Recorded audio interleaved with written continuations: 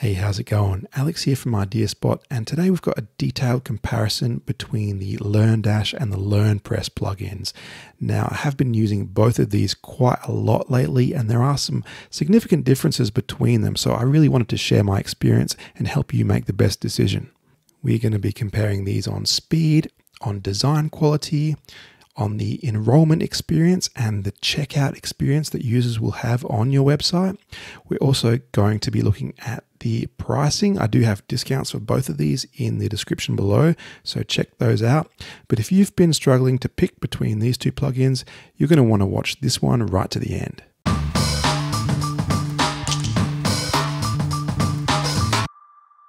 For LearnPress, we are using the education theme by ThimPress, and this is the Eduma demo. This is one of the 21 demo sites you get bundled with this package. So it looks really good. You got your course grid, you got a lovely um, parallax effect, you've got that slider uh, image right on the front there. So all looks really cool. For LearnDash, we are using Astra. We're using the LearnDash Academy template. Now, this is the official collab between Astra and LearnDash, and they've come up with a really clean, fast loading, and well designed looking website. So it is very professional looking. Uh, it's been designed for uh, conversions, so it does a really good job of just turning leads into sales. So looks really nice.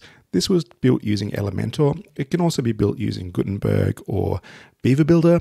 I should also note that um, Eduma can be built with Elementor as well, but it can also be built with Fusion Builder and Site Origin, so that's worth noting as well. First thing I want to address is the speed. So with this LearnDash setup with Astra, very lightweight, got a pretty good load speed of 2.1 seconds, 91 requests and 2.6 meg of content. So pretty good result from Learn LearnDash. LearnPress was definitely the heavier plugin here. So the education theme loaded in 3.1 seconds, 5.5 meg of resources, and 154 requests. So much heavier, noticeably a little bit slower, but still not unacceptably slow. Three seconds is still okay, but noticeably better performance from LearnDash. Looking at the reason for this performance difference, looking at the LearnDash dashboard, we only actually have eight plugins installed to get this website working. So much lower than LearnPress, which LearnPress I had to install 26 plugins when I installed the plugin and I installed the demo content. All of this stuff automatically is installed. So a much heavier setup for sure. So I think this is definitely worth noting if you're one of those people who really likes a nice clean WordPress setup. Having only to maintain eight plugins, it's going to be much less work, much less technical support, much less customer support. I think going forward in the website's life, you're going to end up spending much less time maintaining LearnDash than you are with LearnPress. A lot of these things aren't even designed by ThimPress. These are other free plugins that they've bundled in with it.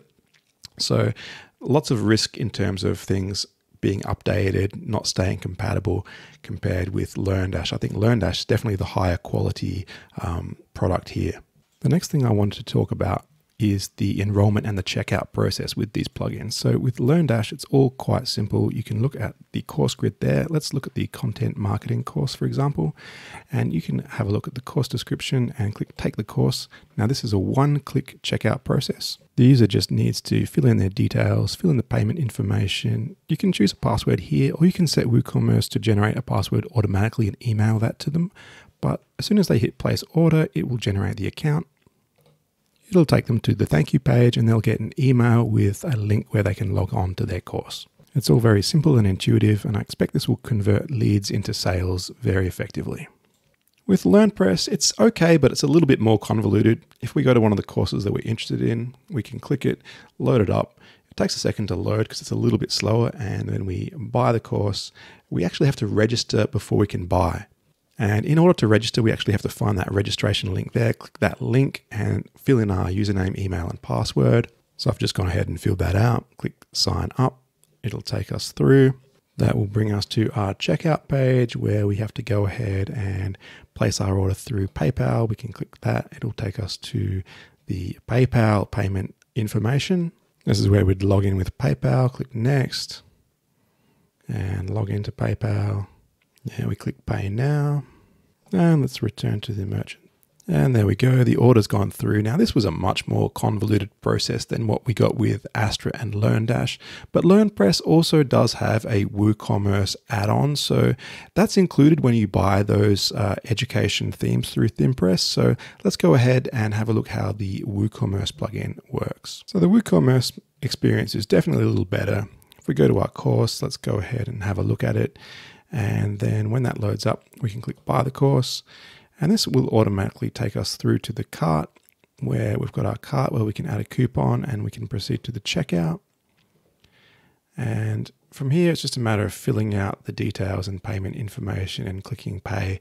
Uh, you can use Stripe, PayPal, Square. I've only set up PayPal, but you could use whatever you want because it's WooCommerce. Now, I would note that they haven't really done any work on term, in terms of optimizing the cart and the checkout flow and the design of the cart and checkout. This is just um, basic, standard WooCommerce setup. So they haven't really done um, anything to make this convert better, like what they've done with Astra on the LearnDash page where they've obviously put a fair bit more effort into making the design a bit more clean, a bit more user friendly, and a bit more streamlined in terms of getting those leads turned into actual sales by making this really quick and simple to do.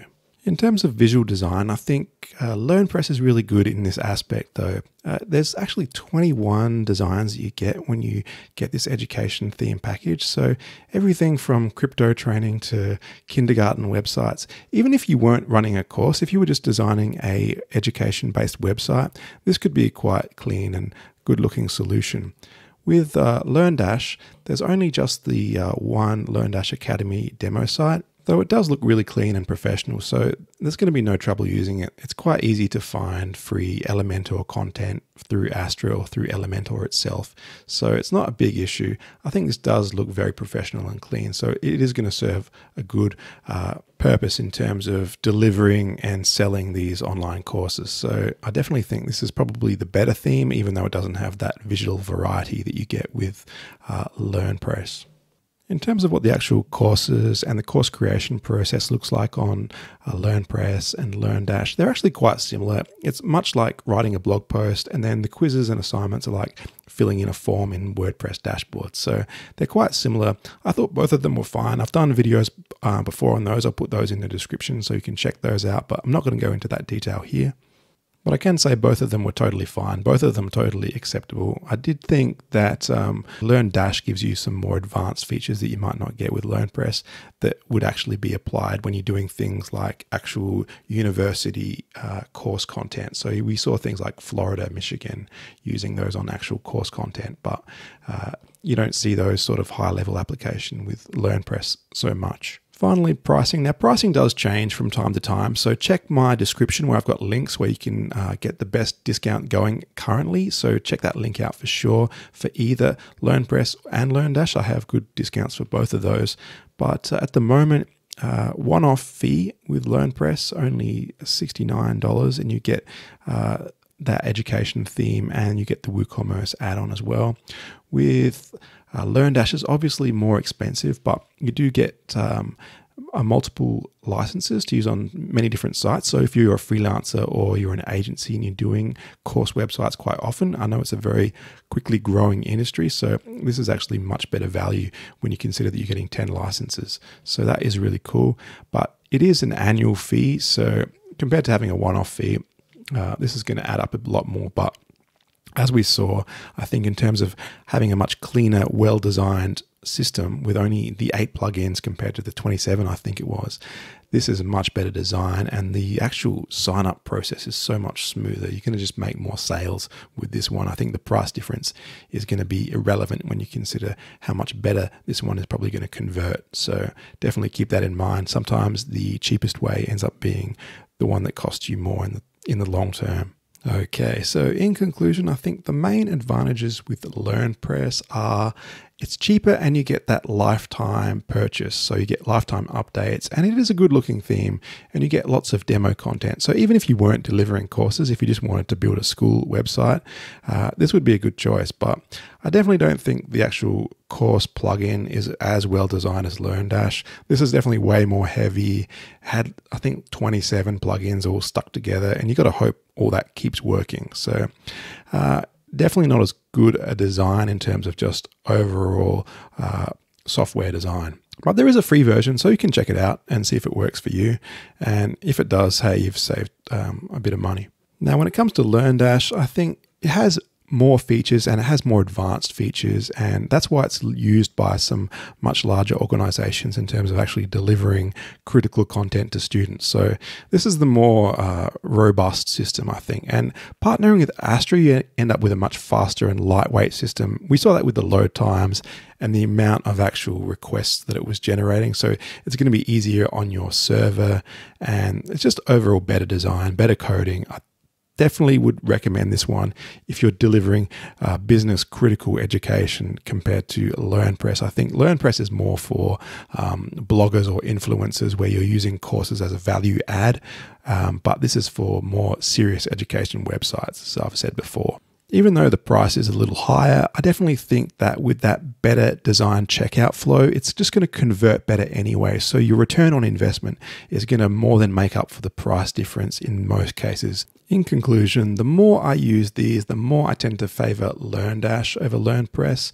I think if I had to do a serious project, I'm probably going to choose LearnDash basically every time, especially if it's business critical and I really need to ensure that it's got a high quality result. So um, LearnPress still has its place, especially because it has a free version. If you're just learning how to make an online course, this could be a good way to start, get your feet wet. But for, uh, I think if you've got a serious agency or you're a freelancer and you really need a reliable solution, I'd be going for LearnDash. The fact that we had LearnDash running on eight plugins compared to LearnPress's 27, I think, is just going to be huge from a maintenance perspective. And LearnDash's optimized checkout flow, I really think the return on investment is going to be really high compared to LearnPress. So that's why I'd recommend it. I do have links to both of these in the description because they do have specials from time to time, and I'll make sure I put those discount links in there for you. So check those out. Now, I do have complete tutorials on how to build courses with either of these plugins. So I've put links to them there. But don't forget to hit like and hit subscribe too, because I think one of my next videos I'm going to come up with is going to be a complete LearnDash Academy site build, like what we saw in this video. I'm going to do a complete build on that website. So stay tuned for that.